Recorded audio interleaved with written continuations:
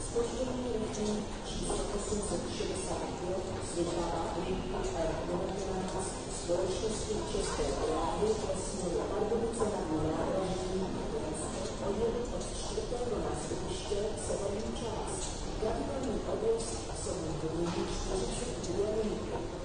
Upozorňuje na cestující, že konceptní pozostanice Světavy a Polska budou z provozních důvodů přepravení autobusy.